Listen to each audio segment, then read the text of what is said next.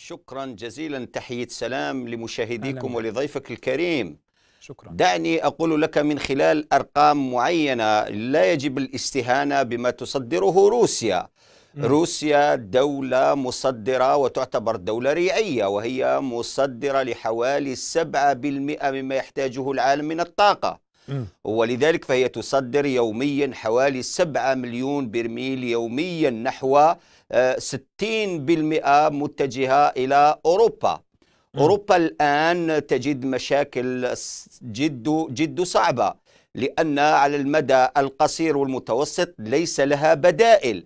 ولذلك فهي هناك مفاوضات مع بعض الدول ولكن آنيا وحاليا لا يمكن إمداد أوروبا خاصة في فصل الشتاء الحالي وفصل. الشتاء القادم لأن الفترة جد قريبة مم. أظن بأن مشكلة أوروبا ستكون جد معقدة من الناحية الطاقوية نعم إذا كانت روسيا لوحدها تصدر حوالي أكثر من 100 مليار دولار سنويا 60% أو حوالي 70% فهي من أوروبا مم. أظن بأن مشكلة الطاقة ستكون جد معقدة لذلك الولايات المتحدة الأمريكية باعتبارها حليف استراتيجي لأوروبا نعم. فهي تفاوض إيران تفاوض فنزويلا كذلك هناك بعض الدول الأوروبية توجهت نحو الجزائر ولكن كل هذه المفاوضات لا تؤدي ما عليها لأن الحرب كانت بطريقة مفاجئة مهم. تقريبا ولذلك اليوم أسعار الطاقة ارتفعت نعم. فيؤدي إلى انكماش في اقتصاد الدول الأوروبية.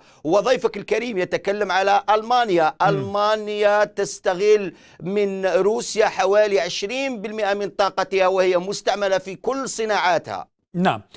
سيد علوان دعني أسألك عن الغاز الجزائري. هل سيتحول إلى ملاذ للأوروبيين وتفتح أبواب للنقاش والمفاوضات مع الجزائر كي تكون أم، إحدى الدول الموردة للغاز إلى أوروبا.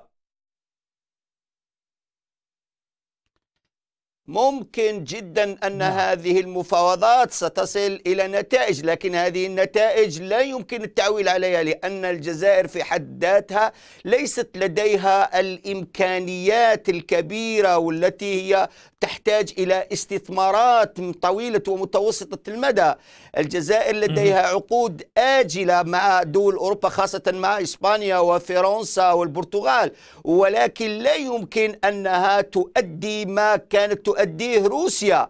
أظن بأن خاصة أوروبا الشرقية أوروبا الشرقية ستعاني من مشاكل كبيرة جدا في ميدان ما يسمى الطاقة الطاقة البديلة وهي الغاز لأن ليس لديهم بدائل كما كان يذكر ضيفك. نعم. لا من الجانب الطاقة النووية أو الطاقة الحرارية لأن إلى غاية اليوم كل الدراسات التي تمت في دول أوروبا في دول أوروبا على أنها تكون بديل للغاز إلى غاية اليوم. النتائج ليست إيجابية 100% فأظن أن الغاز الجزائري ممكن أنه يؤدي أو يحل جزءا صغيرا من المشكلة إذا وصلوا إلى اتفاق ولكن واضح. لا يحل كل المشكلة.